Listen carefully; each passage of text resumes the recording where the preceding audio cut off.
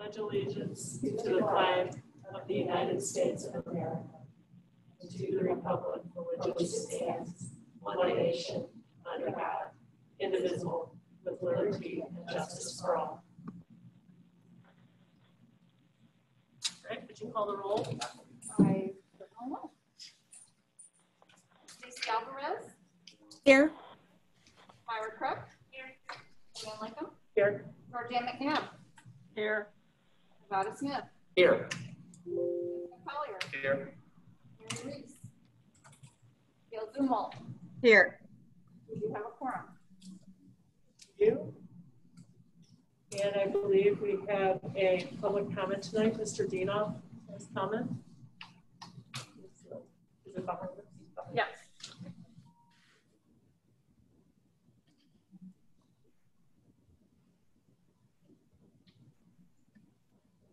Very much, uh, Madam Chairwoman, members of the Board of Trustees. My name is Arnie C. Dienoff, Public Advocate.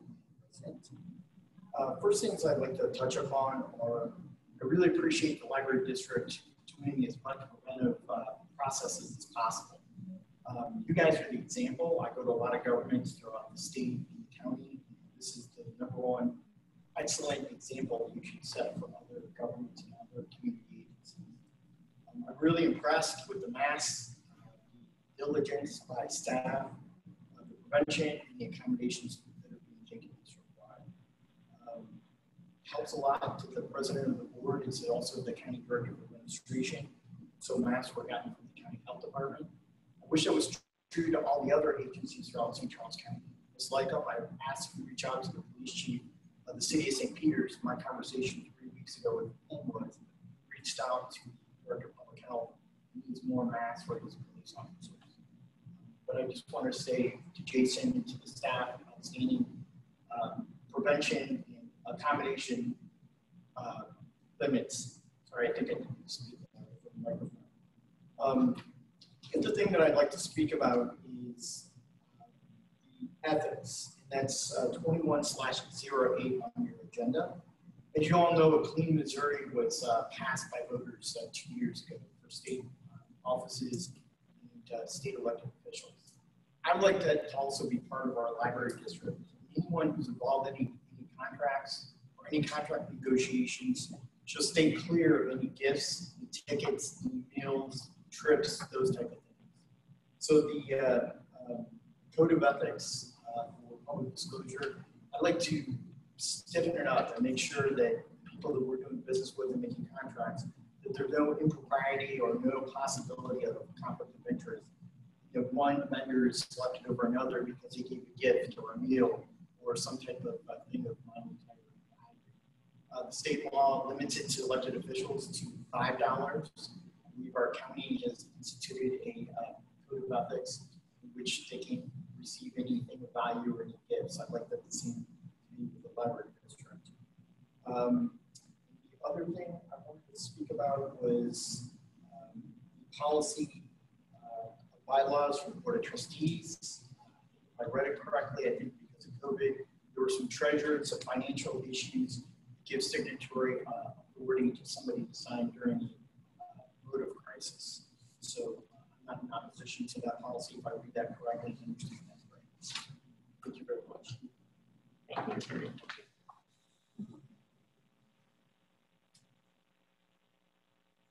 All righty. Um, so reports and correspondence, the financial report. Uh, yes, I've included in your packet, um, the second revised version of June. Um, how this works is the second, uh, August, we'll receive a third final June, um, in September.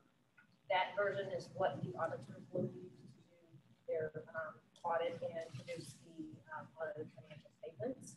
Um, so this version, uh, the two additional versions allow us to include appropriately, you know, revenues and expenditures that relate to fiscal twenty um, you see those, um, you know, uh, for one or two months after the end of the year.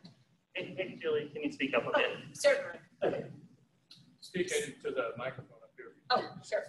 Um, so as far as the revenues, you'll see that we're almost at hundred percent. Um, we, uh, in June like had almost two hundred thousand, uh, less in services. You're seeing the impact of COVID since mid-March, uh, but we did make it up in other areas, and we're almost at hundred percent as far as revenues. Um, expenditures, again, you're seeing the impact of, uh, COVID for three and a half months. Um, we were, uh, in a mode of, uh, preparing for COVID as well as being cautious and, uh, really looking at our expenditures, uh, moving into fiscal twenty-one. So, um, the end of twenty-one. The second set that I've included is July. And you'll see, uh, to start, since all of our revenues were accrued into fiscal twenty, we only have thirteen thousand minimal revenues for July. Um, Yet we're almost at one point eight in in expenditures, so we started the year strong, uh, considering like our COVID situation. Um, And, uh, in addition to that, our projects are moving along. Currently, the auditors are in the, uh, well, they're doing interim this week, so it's in process. Um, If you have any questions regarding the expenditures for fiscal twenty or twenty-one? happy to answer. Any questions? And then just as a reminder, in September, as far as revenues are concerned, you will be setting the tax rate, so I should be receiving the property tax values.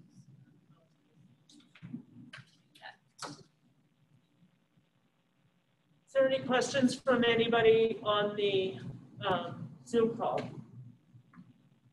Stacy, Gail, Georgiana? I don't have any questions. I don't either. Thank you. All right, director's report. All right, um, I highlighted in the written report a number of, um, the building projects that we're making progress on, um, over, um, the past month. See, uh, have some images there of Cliffview. We are on schedule, um, to have the construction done in November and er- open in early, very early twenty twenty-one. Um, we also, after several delays, the building in Portage des Sioux has been removed now, um, and the lot has been smoothed over and planted. Uh, let's see, we, um, have an expected, uh, delivery date now for the bookmobile that you approved the ordering of that last, um, last month, and that is in mid twenty twenty-one. Uh, let's see, I really just wanted to take some time and, well, and actually before that, we have, so both the, um, our location at Orchard Farm Elementary School has started up now, um, that started last week. And, um, Jen, as a temporary pickup location for Kathryn Linnemann is operational. Um, the one thing that is an alteration at Orchard Farm is that because of COVID, they're not allowing any visitors in the building. So um, they did not want it to be a full location at that point, but they did allow us to offer curbside and return. So um, that was very gracious of them to do that. I did want to speak a little bit about Kathryn Linnemann.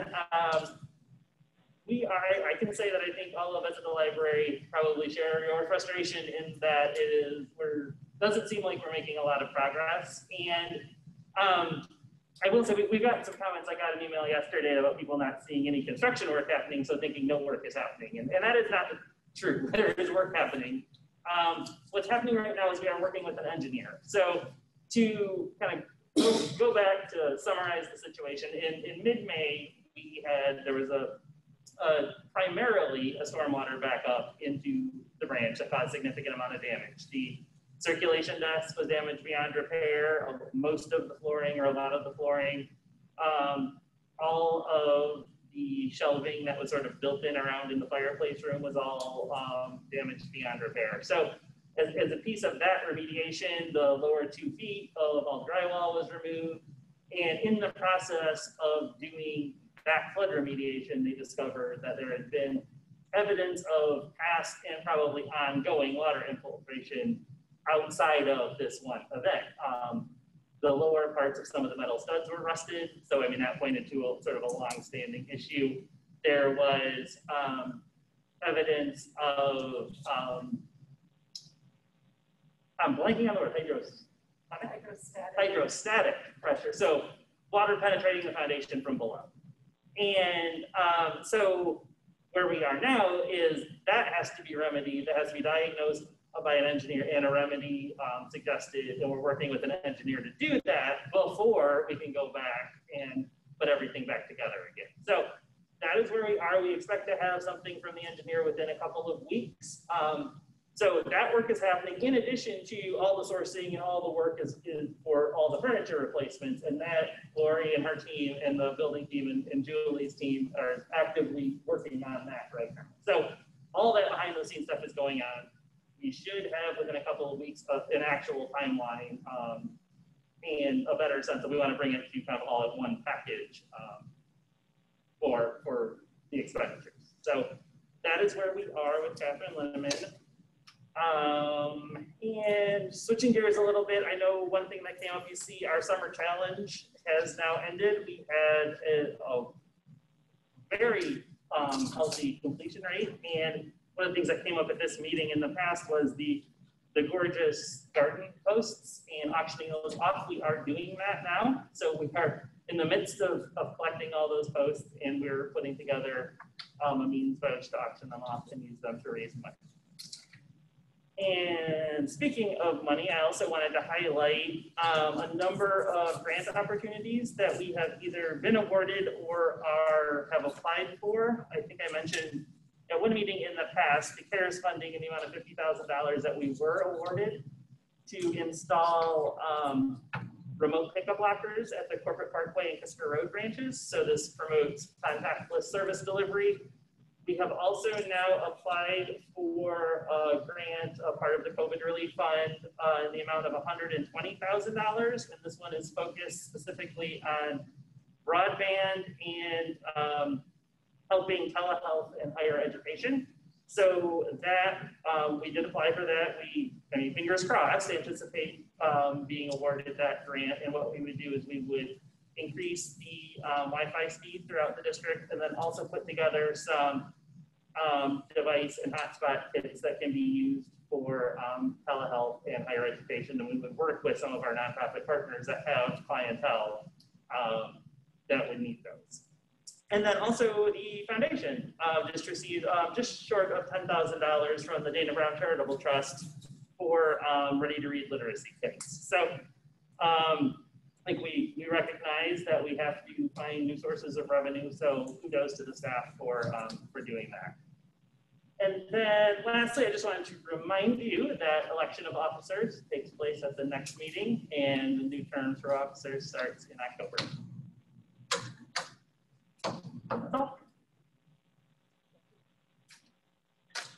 Right, the statistical report. Okay, um, well, it's a pretty sad looking gate count graph there. Wouldn't see that big drop off, but that is to be expected um, for the first month of fiscal year 21 when we are open short hours and we're not offering any in-person programming and um, use of e-media continues to increase. So um, to that last point, you do see that there is um, over an 11.5% increase in our e-media usage. I did just want to touch briefly on the circulation, and this is actually less of a good thing. Um, it shows about a 25% decrease, but it's probably greater than that because when um, when we closed, we extended due dates. Everything was due back in July. So anything that wasn't on hold and was eligible probably also then auto renewed in July. So you're seeing a lot of July activity um, there as well. But um, that is to be expected given the circumstances. Any questions about the statistical report? I just, can we go back a 2nd Mhm. I had a question about Kathryn Linnemann. Sorry. So it's, it's completely closed right now? It is. So uh, we are doing, um, I guess, are we still doing lunch at the Lunch at library? the library, just finished up, I think, uh. And then the, so we are offering at Duchesne across the street, that's where we're doing curbside um, pickup. That was my question. How are we providing services for people? It's all through Duchesne. And besides Kathryn Linnemann, what's the next closest branch? Uh, McClay is, we're, yeah, basically, McClay is the closest. Um, This is the closest large regional, so we are seeing some patrons here as well. And how are we communicating in terms of what the other options are for Kathryn Linnemann people? Is that going out in an email blast or Facebook or?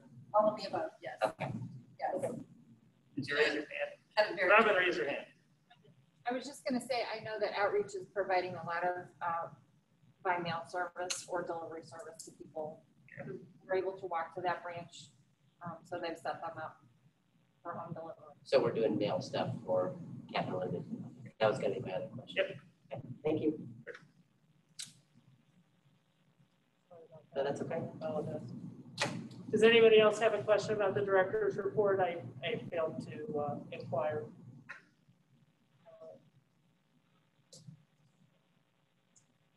All right. Um, Correspondence. And uh, so that brings us to the consent agenda. We have the minutes from the July 14, 2020 meeting.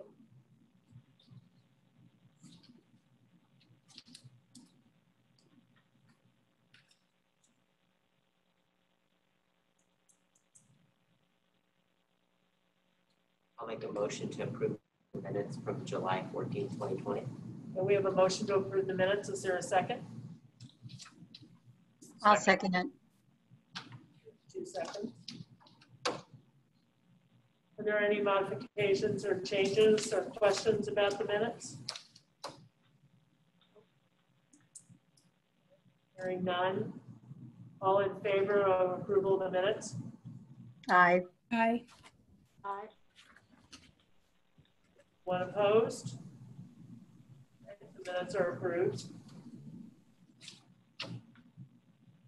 All right, no old business. On new business, we start with twenty-one 5 discontinuation of fines for overdue materials. All right, so this has been a long time coming, and we've talked about this at somewhat at length um, at meetings in the past, over the past probably 18 months or so. Um, and so I'll just, I won't kind of read, I'll, I'll just kind of hit the highlights um, and I can certainly answer questions. But first, I want to be very, very clear to distinguish um, one point of confusion that we see a lot when discussing overdue fines in libraries. And that is the distinction between overdue fines, which are like the 10 cent fine that gets charged when you return something late, versus charges for material that's never returned or that's damaged or that's lost. And we are only dealing with the first one here, um, sort of the what is essentially a punitive fine um, for returning something late, and not the reimbursement to the library for things that are damaged or never returned. Those are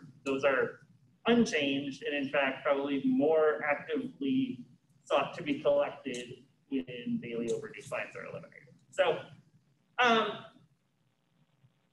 so, you know, as we've talked about in the past, um, the, the, the idea of a, a nominal fine um, that's collected daily for items that are returned overdue has kind of just been ingrained in, in the whole library culture for decades and decades and decades and decades. Um, with that said, there are libraries, some in Missouri, some large ones in Missouri, that have never had the practice of, of instituting fines. Um, but the idea was that that was incentive for people to return things on time.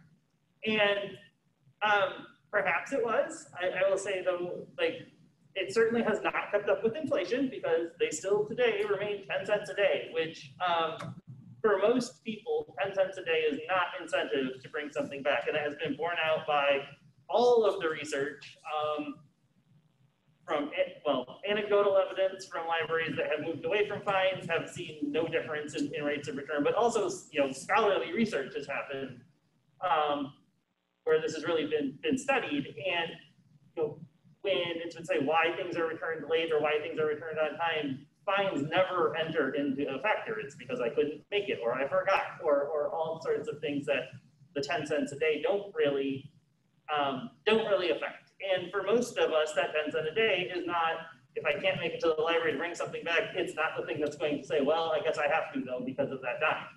Uh, however, the only people that it does provide that incentive for are the people that need the library the most and can least afford to pay it. Um, so that includes, well, first of all, people without easy transportation, but children, elderly, um, people with lower incomes. So what we find is it, it disproportionately affects the people that most need to use the library. And it doesn't provide any incentive for, for everyone else to really do what it's supposed to do. Um, and I think that that's actually kind of borne out in, in a snapshot that we took at one point where about 50,000 of our customers, our active card holders, had fines, uh, which is about 14%. They had outstanding fines on their card. 52% of those were inactive.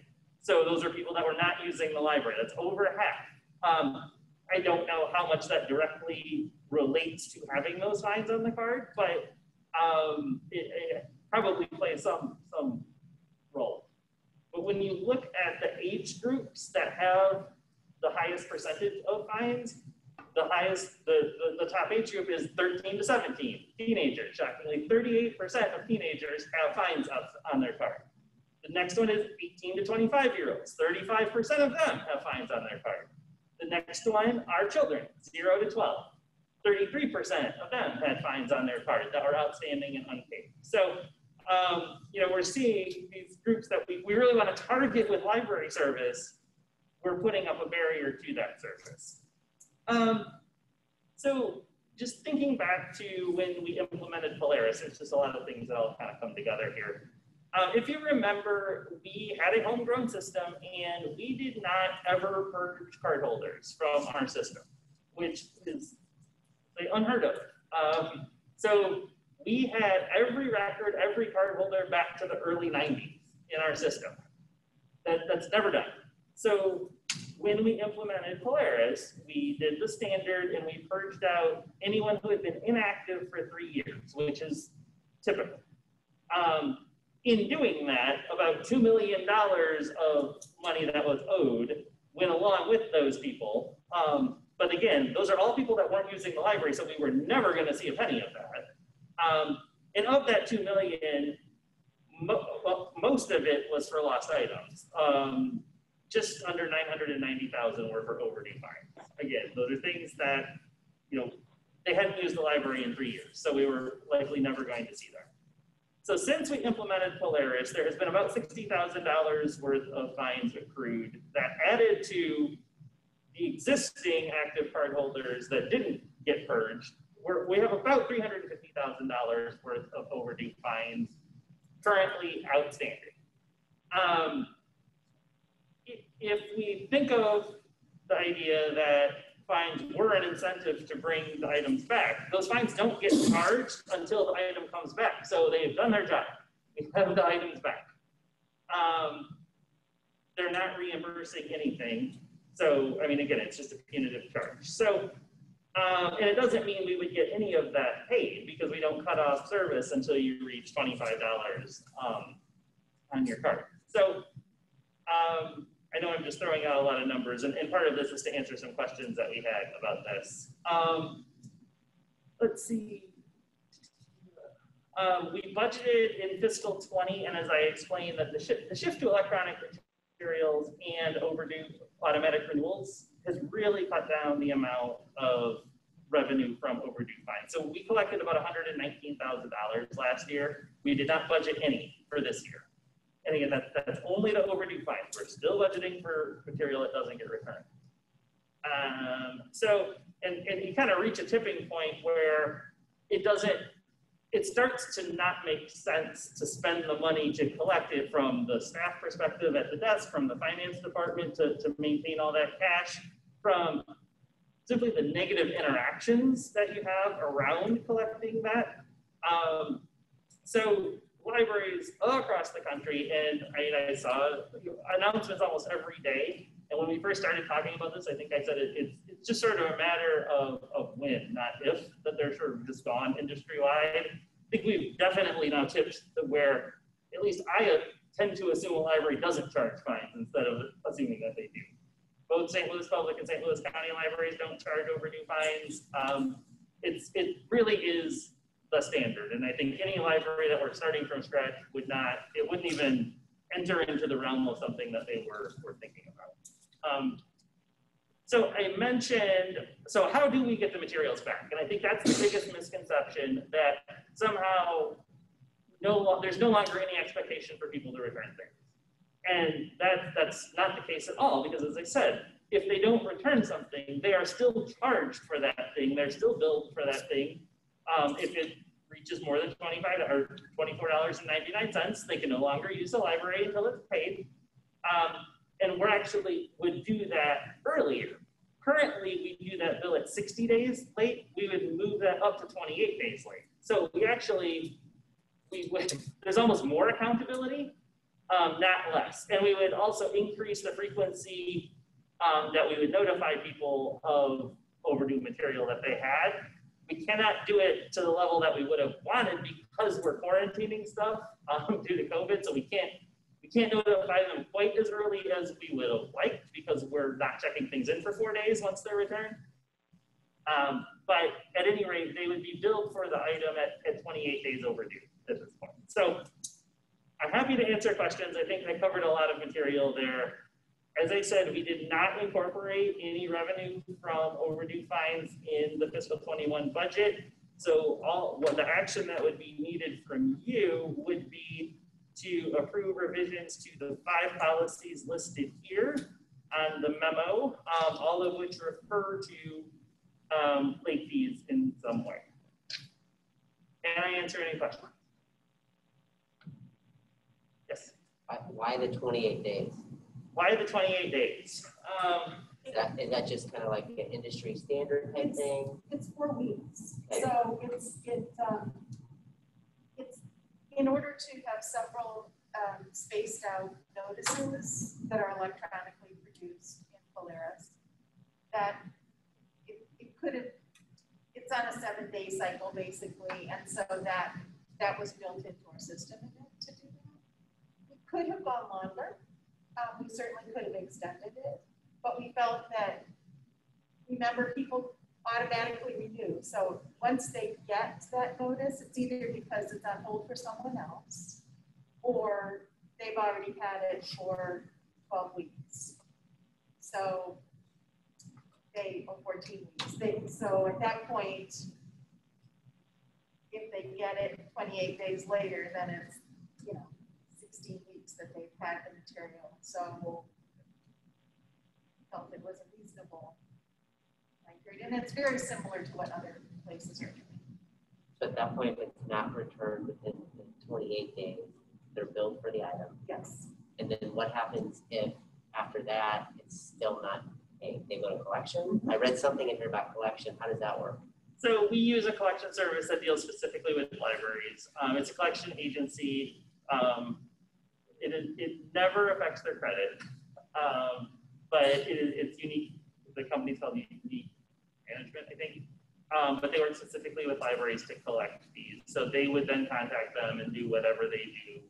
Um, their, their, specific brand of, I mean, it, it's, it's not overbearing, I don't think, but um, they take, they have more capacity to pursue and, and try and get that um, paid than, than the library would. You say the bigger dollar value of what we have is from late fees or non-return material? Um, I think it was when I looked late fees, um, but it's it's always compressing. I think. Um, and, and again, also there's so once the item is billed, if they still have it, they can bring it back. Still at that point, it's not like okay, you kept it out for 28 days, now you have to buy it. And they could still bring it back. So um, I think that's really the incentive. So suddenly you have a, a thirty dollar charge and you can no longer use the library. So that's what the material back. So at any point, if they bring it back, then they're, they're in good standing. right? Unless it's damaged. Unless it's damaged. My group reviews all the outstanding charges, and if there's credit on the account monthly, and then if they have brought back, we issue the refund out of my office to the Sometimes people do pay for materials that they can't find. Sure. You know, they, they got lost on vacation or something. But then they you know, their car and it's under the car seat. And so they bring it back and within, is it, I think it's ninety days. we do it.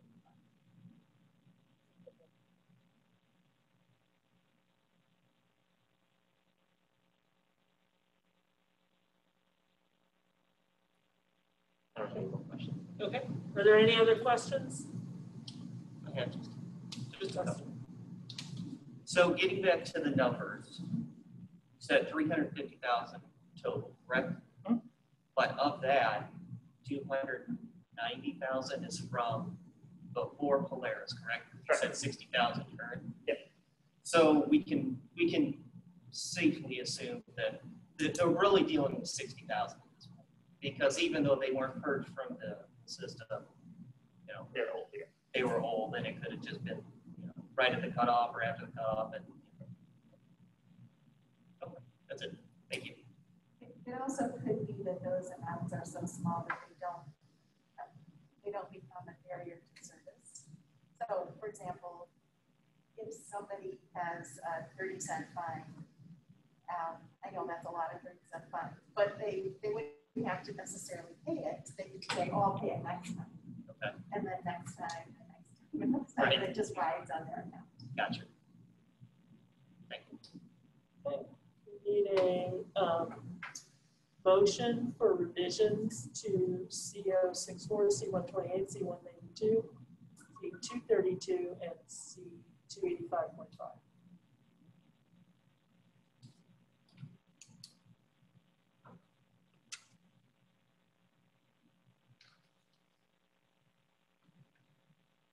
I'll make a motion to approve uh, the, the item twenty-one oh five, discontinuation of the fines for overdue materials for policies C 64 C one two eight, C one nine two, C two three two, C two eight five point five. You have a motion and a second? Is there any further questions?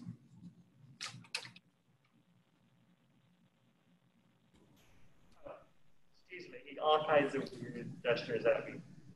Being asked if you could speak up Speaking up. louder. Oh, sorry. It's the mask. Sorry. Um, all right, are there any further questions? Hearing no questions, uh, all in favor of the of revisions to those policies? Aye. Aye. Aye. Okay, Anyone opposed?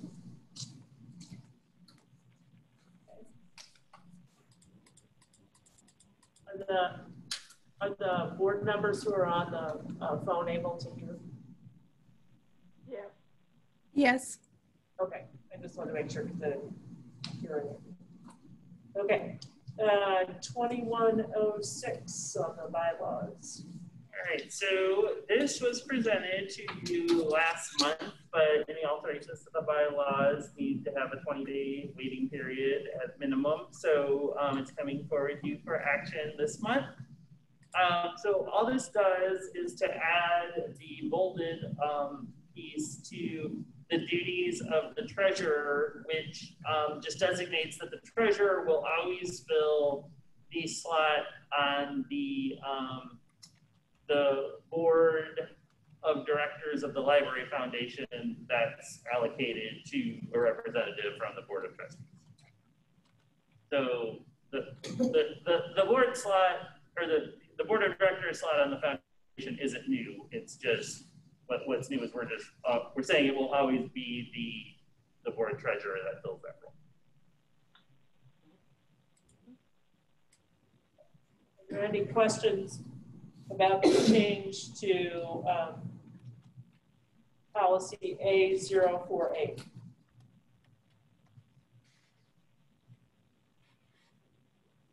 Also, I inadvertently apparently bolded the part about the audit, but that was existing, so that's not new. Sorry. I was gonna say, don't we do an audit? Yeah, we did. That that was not edited. I just careless bolding. Sorry. Okay. All right. We need a motion for revision of policy A048.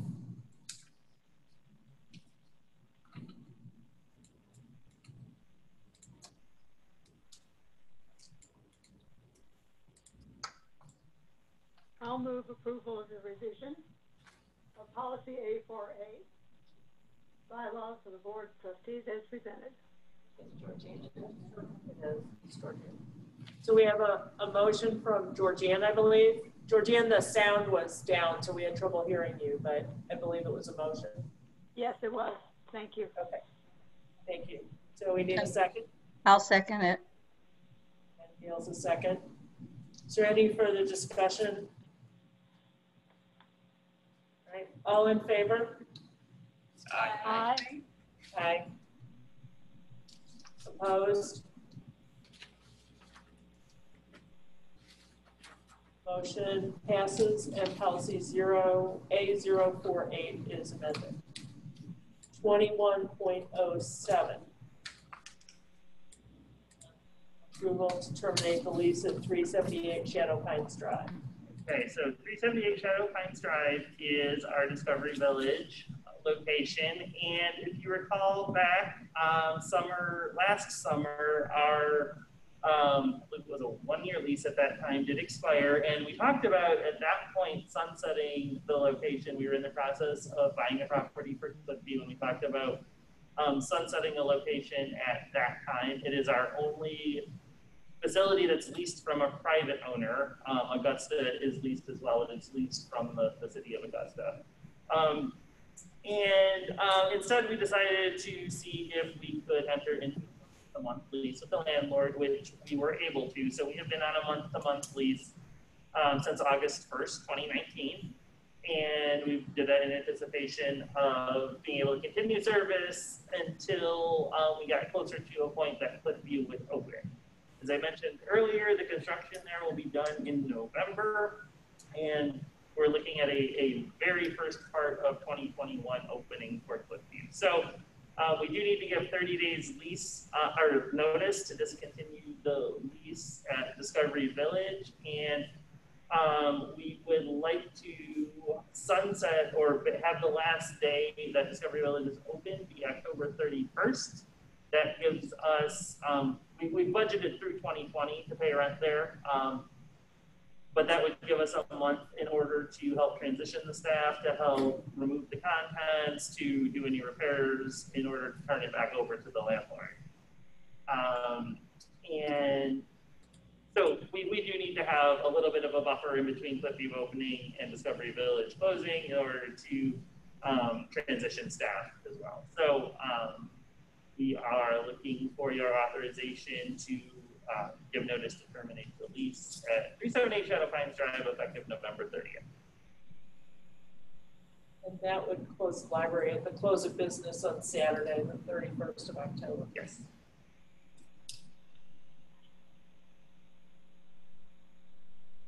I'll make the motion to authorize staff to provide notice to terminate the lease at three seventy-eight Shadow Heights Drive effective November thirtieth. Myra's made a motion. Is there a second? Second. Justin seconded. Is there any additional questions or discussion?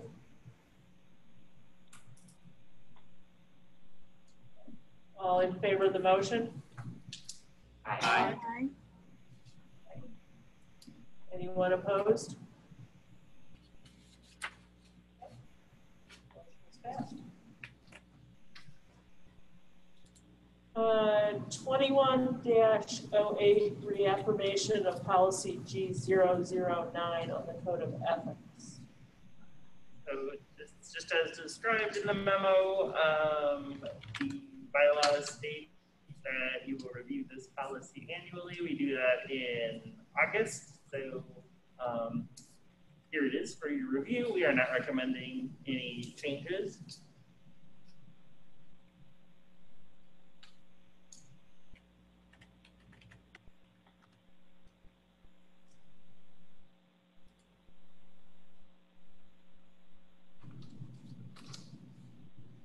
there any discussion of the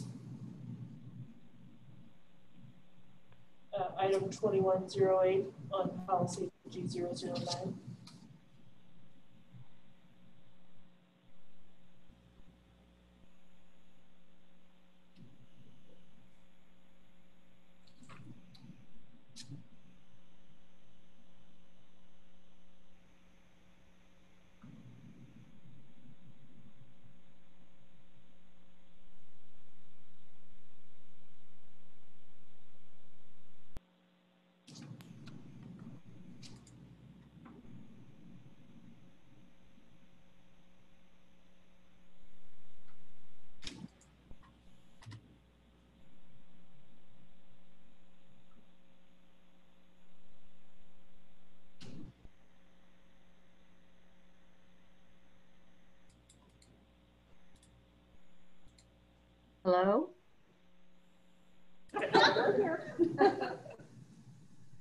Yes, we are still here. I believe people are making sure they fully understand the policy. Can I ask a question? How long has this particular policy been in place? I believe this was a piece of when we, um, about a year ago, when we worked with the attorney to revise all the board policies, and this one doesn't fall in that section, but this was a piece of that. So That's what I thought, so about a year ago.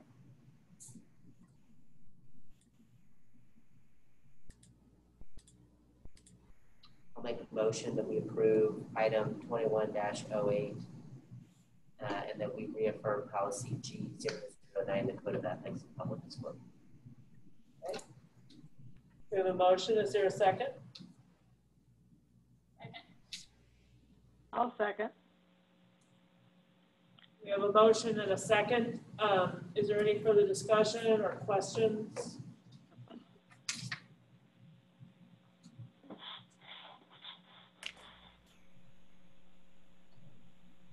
Hearing none, all those in favor? Aye. Aye. Aye. Opposed? Okay, the motion passes. And now we have uh, item 2109, revision to policy E368 on the organizational chart.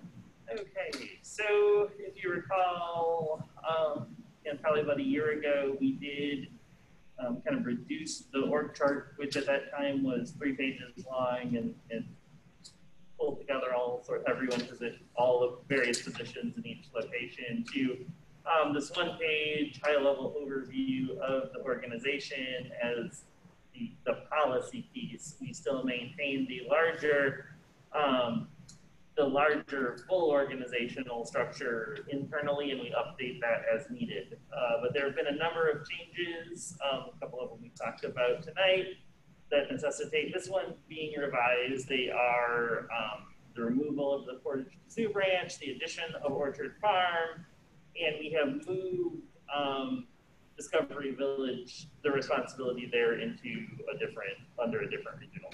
So um, this will come forward after October 31st, obviously, to remove the Discovery Village branch, but we thought it was important to get those changes captured now. So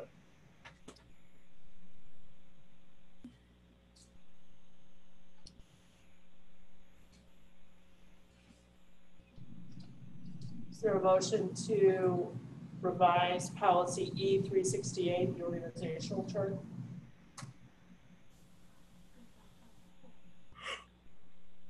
I'll make a motion to approve the revision of policy sixty-eight. We have a motion for Myra. Is there a second? I'll second. Regina seconded. Is there any further questions or discussion?